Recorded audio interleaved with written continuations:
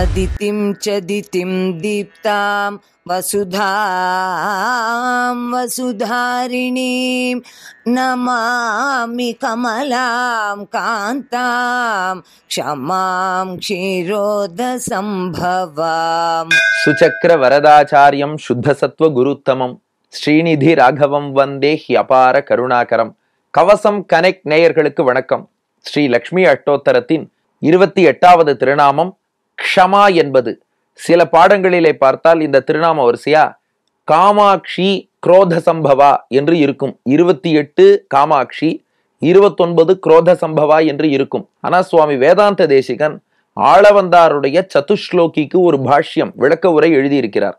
அதுல லக்ஷ்மி அஷ்டோத்தரத்தில் இந்த வரியை கோட் பண்ணும்போது க்ஷமா க்ஷீரோத சம்பவா என்றுதான் இந்த ரெண்டு திருநாமங்களை கோட் பண்ணியிருக்கார். என்ன காரணம்னா இப்போ காமாட்சி குரோத சம்பவான்னு நாம பிரிக்கும் பட்சத்தில் குரோத சம்பவா கோபத்திலே உருவானவள் தாயார்னு அர்த்தமாயிடும். ஏன்னா அனுகிரகமே பண்ணக்கூடியவள் மகாலட்சுமி நமக்கு எல்லாவித செல்வங்களும் கொடுக்கக்கூடியவள் கருணையே நிறைந்தவள். அதனால அவளை குரோதத்தில் உருவானவள் கோபத்திலே தோன்றியவள்னு சொல்வது பொருத்தமா இருக்காது.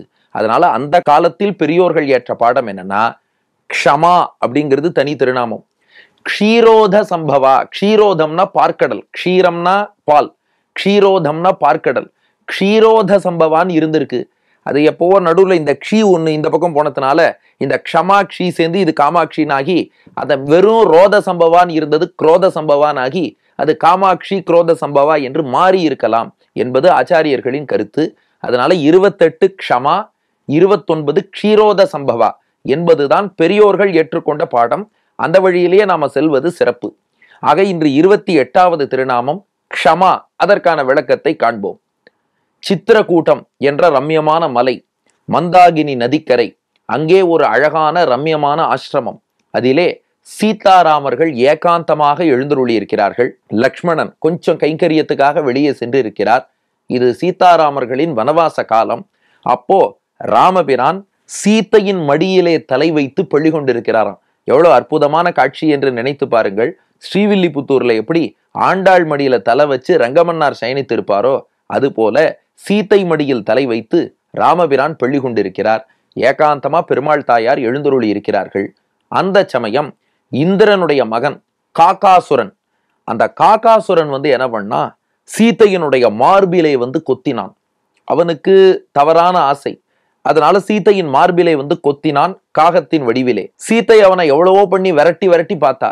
எவ்வளவு விரட்டினாலும் அந்த காக்காசுரன் அங்கிருந்து நகர்வதா தெரியல. திரும்ப திரும்ப வந்து சீத்தையை துன்புறுத்தி கொண்டே இருக்கிறான்.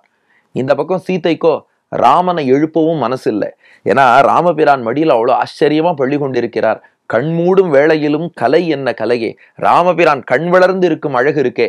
அந்த அழகை இன்னி முழுக்க ரசிச்சுட்டே இருக்கலாம். அவனை போய் எழுப்பணும்னு தோணுமா? ஆனால் இன்னொரு புறம் மீண்டும் மீண்டும் வந்து மார்பில் கொத்த சீத்தைக்கு ரத்தமே பீரிட்டு கொண்டு வந்ததாம். அந்த சீத்தையின் திருமார்பில் இருந்து புறப்பட்டு வந்த ரத்தம் ராமன் முகத்தில் பட்டு தெரித்தது. உடனே ராமன் விழிச்சுட்டான். விழிச்சுட்டு சீத்தைக்கு ஏற்பட்ட காயத்தை பார்த்தான். ராமனுக்கு வந்ததே பார்க்கணும் கோபம். ஒரு கேள்வி கேட்டானா உறங்கிக் கொண்டிருந்த அஞ்சு தலை நாகத்தோடு விளையாடினவன் யார்? என்று ராமபிரான் கேட்டான். அப்ப பார்த்தா இந்த காகாசுரன் அங்க ஒரு மரக்கிளையில போய் உட்காந்து ராமனுக்கே அழகு காட்டுறான். ஏன்னா இப்ப ராமன் கையில எந்த ஆயுதமும் இல்லை. இந்த ராமனால் நம்ம என்ன செய்ய முடியும் என்று நினைத்து அப்படியே ராமனுக்கே அழகு காமிச்சான். ஆனா ராமபிரான் என்ன பண்ணா சீத்தை மடியில் தலை வைத்து ராமன் படுத்துட்டு இருக்கானே ஒரு தர்பை புல்லால் ஆன பாயில படுத்துட்டு இருந்தானாம் ஏன்னா எப்போதுமே வெறுந்தரையில படுக்கக்கூடாதுன்னு ஒரு சாஸ்திரம். ஏன்னா நம்முடைய பூணல் அணிந்து கொண்டு இருக்கிறோமே அது என்றைக்குமே தரையில பட்டுடக்கூடாது. அதனால ஒரு தர்பை புல்லால் ஆன பாய் அதை போட்டுதான் ராமன் அதற்கு மேல் சீத்தை மடியில் தலை வைத்து பள்ளி கொண்டிருக்கிறான். இப்ப அந்த தர்பை புல்லால் ஆன பாயிலேந்து ஒரு தர்பையை உருவினான் ராமபிரான். அதுல பிரம்மாஸ்திர மந்திரத்தை ஜபித்தான். காகாசுரன் மீது ஏவினான். ராம பானம் என்ன பண்ணும்னா ராமனுடைய திருவுள்ளத்தை அறிந்து செயல்படும். இப்ப ஏவும் போது காகாசுரன் அங்கேருந்து சிரிச்சானா இது என்னது இது புல்ல தூக்கி போடுறானேன்னு. வல்லவனுக்கு புல்லும் ஆயுதம்ங்கிறது அவனுக்கு தெரியல. அந்த பானம் கிட்டக்க வரும்போது அது தகிக்க ஆரம்பிச்சது. வெப்பம் தாங்காம மரத்திலேருந்து காக்காசுரன் ஓடத் தொடங்கினான். ராமபானம் ராமன் திருவுள்ளத்தை பின்பற்றி செல்லும். காக்காசுரன் ஓடினா துரத்துறது நின்னு திரும்ப பார்த்தா பானமும் நிக்கிறது அவன் ஓடினா துரத்துறது நின்னா நிக்கிறது பார்த்தான் யார்கிட்டயாவது உதவி கேட்போன்னு முனிவர்களிடம் சென்றான். தவர் நீ தப்பு பண்ணிட்ட அபச்சாரப்பட்டுட்ட நாங்கள் காப்பாற்ற மாட்டோம்னு அனுப்பி வச்சுட்டா. மற்ற பறவைகளிடம் போனான். நாங்கள்லாம் காப்பாற்ற மாட்டோம்னு பறவைகள்லாம் ஓடிடுத்து. சரி தேவர்கள் உதவியை நாடலாம். இவன் தந்தையான இந்திரன்ட்ட போனான் இந்திரன் கதவை அடைச்சுட்டான். அந்த பானம் என்ன தாக்கினா என்ன பண்றதுன்னு. பிரம்மாட்ட போனா முடியாதுன்ட்டார். சிவபெருமான்ட்ட போனா ராம பானத்திலிருந்து காக்க முடியாது. நீ ராமனுடைய திருவடியிலேயே போய் விழு.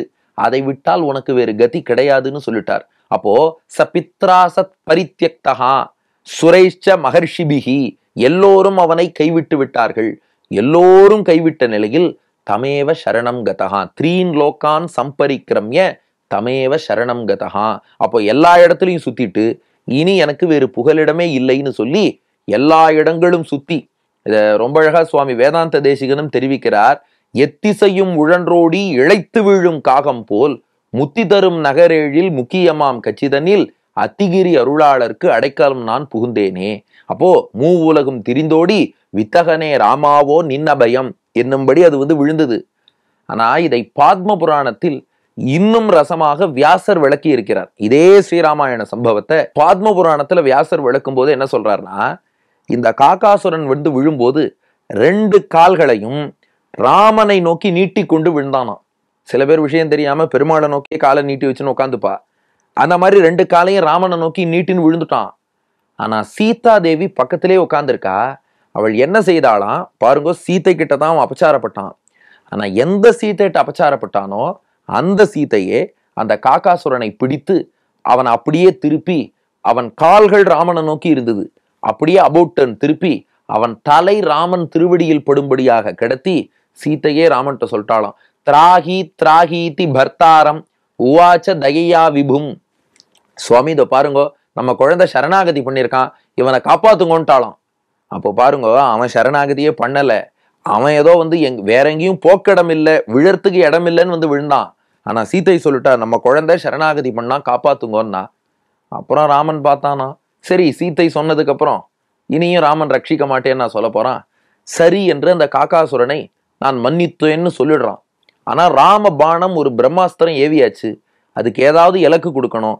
எதை இலக்கா தரதுன்னு காக்காசுரனுக்கே ஆப்ஷன் கொடுத்தான் ராமன். அவன் சொன்னானா என் கண்ணு தான். பார்க்கக்கூடாததை பார்த்து தப்பான காமம் கொண்டு தப்பான ஆசைப்பட்டது. ஒரு கண்ணை பறிக்கட்டோன்ட்டான் அதனால் அந்த காகத்தின் ஒரு கண்ணை அந்த பிரம்மாஸ்திரம் பறித்தது. அதனாலதான் இன்றும் காகத்துக்கு ஒரே கண் தான். ரெண்டு புறமும் அதை கொண்டே பார்க்கும்னு சொல்வார்கள். உயிர் பிச்சை வாங்கிட்டு போனான். போகும்போது அவன் கா கா கா கான்னு கத்திண்டே போனானான் கா அப்படின்னா எவள்னு அர்த்தம். யார் ஒருத்தி? பெண் பால்ல கா அப்படின்னா யாருன்னு அர்த்தம். கான்னு ஏன் கப்தினான்னா இந்த சீத்தை போல் கருணை உள்ளவள் உலகத்துல யாரு? கா. என்னமா கருணை காட்டியிருக்கா? நான் அவகிட்ட போய் அபச்சாரப்பட்டேன். ஆனா அவள் என்னை இப்படி ரட்சித்தாளே. கா கா. இந்த உலகத்திலே யார்தான் சீத்தையை போல் கருணை உள்ளவள்னு சொன்னானோ இவன் கா கா கா கான்னு கத்தியே இன்னைக்கும் எல்லா காக்காவும் காக்கான்னு தான் கத்துறதுன்னு சொல்றா. அப்படி அவன் சீத்தையின் அந்த கருணையை கொண்டாடிட்டு போனானா அந்த காக்காசுரன். அப்போ தாயாருடைய அந்த கருணை பாருங்கள் தங்கிட்ட ஒருத்தன் அபச்சாரப்பட்டா கூட அவன்கிட்டயும் பொறுமை காட்டி அவனுக்காக பெருமாள்கிட்ட பேசி அவனையும் ரட்சித்தா இல்லையா?